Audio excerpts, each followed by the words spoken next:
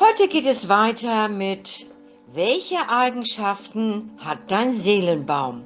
Und damit grüße ich euch alle recht herzlich. Wir beginnen mit der Zeder oder auch Zirkelbaum genannt. Die Geburtsdaten sind vom 9. bis 18. Februar und 14. bis 23. August.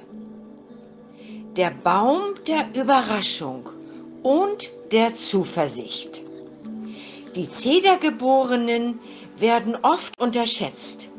Ihr Baumhoroskop besagt, bei diesen Menschen verbirgt sich viel mehr, als man auf den ersten Blick feststellen kann. Es wissen viele überhaupt nicht, dass es diesen Baum gibt. Dem Zedergeborenen gelingt es immer wieder, andere zu überholen. Und das findet Überraschung und immer wieder Beeindruckung. Er ist kühl und gnadenlos kann er sein. Rivalen duldet er überhaupt nicht, egal in welchem Bereich. Nun die Kiefer. Ihre Geburtsdaten sind vom 19. Februar bis 29. Februar und vom 24. August bis 2. September. Der Baum der Verlässlichkeit.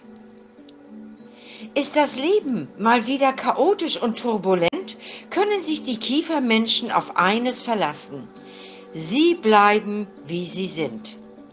So ist das bei diesem Baum schon seit Millionen von Jahren.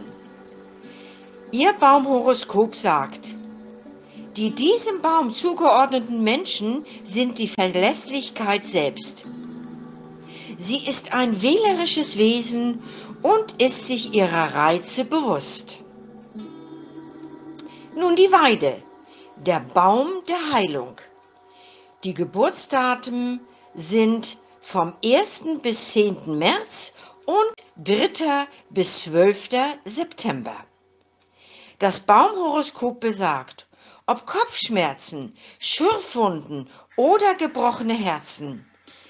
Alles dies heilen die im Weide geborenen Zeichen mit ihrer Heilkraft, ob mit Fachwissen oder mit ihrer fürsorglichen Art gelingt diese wundersame Heilung für andere.